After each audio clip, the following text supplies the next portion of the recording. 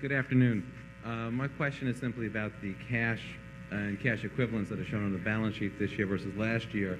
Um, In my thinking, cash equivalents is always something good to have around in case of a big market drop, being able to make uh, opportunistic buys, as I know uh, you've referred to Mr. Mar- Mr. Market getting uh, manic depressive at times.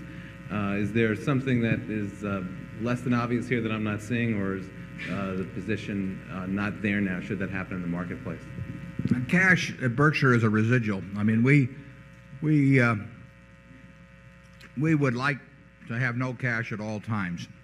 We also don't want to own, owe a lot of money at any time. But, but we, if, if we have cash around, it's simply because we haven't found anything we like to do. And, and uh, um, we hope, always hope to deploy it as soon as possible. We never are thinking about whether the market's going to go down or, or something of the sort, or whether we might buy something even cheaper.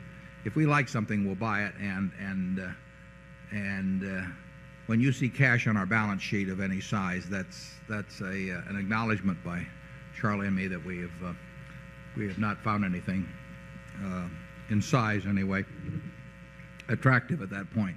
Uh, it's never a policy of ours to hold a lot of cash.